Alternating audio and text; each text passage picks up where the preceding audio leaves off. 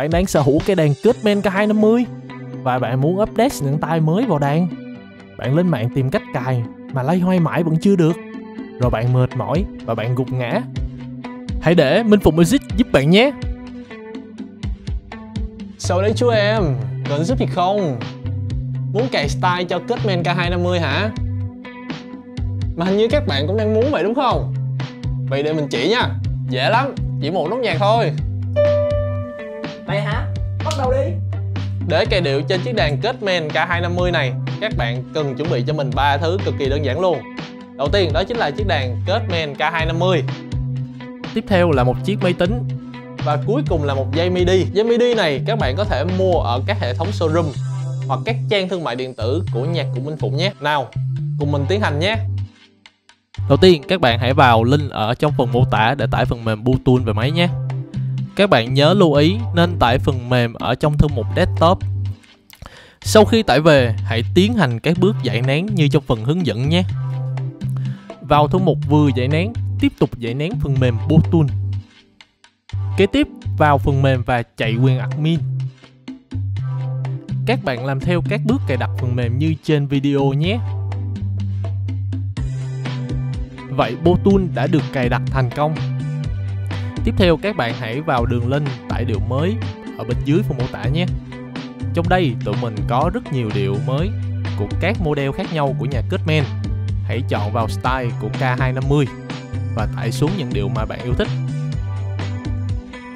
Các bạn hãy tạo một thư mục mới ở ngoài desktop và tải về để dễ dàng quản lý file nhé.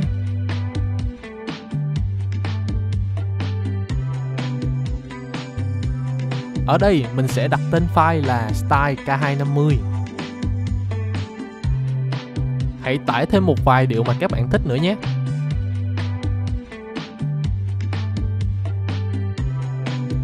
Sau khi tải về, các bạn vào lại thư mục vừa tạo Vào WinRAR và giải nén các style vừa tải xuống.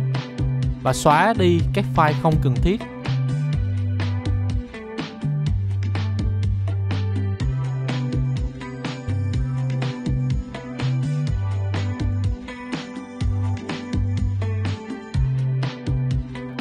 Và bây giờ các bạn hãy cắm dây MIDI kết nối đàn với máy tính và bật nguồn đàn. Các bạn vào máy tính, mở phần mềm Bluetooth, bấm vào Update, bấm vào Connect vậy là phần mềm đã được kết nối thành công với đàn và trên đàn sẽ hiển thị dòng chữ PC Link như trên video. Trong phần mềm Bluetooth, bạn hãy vào Style, chuột phải ở ô bên trái và chọn ngày Style, chọn vào thư mục Style K250 và bạn chọn vào Rhythm RHM chọn tất cả các điệu đã tải về và bấm Open. Cuối cùng, hãy kéo tất cả các file ở ô bên trái sang ô bên phải. Chờ trong giây lát. Vậy là các bạn đã update thành công điệu mới vào đàn kết men K250 rồi nhé.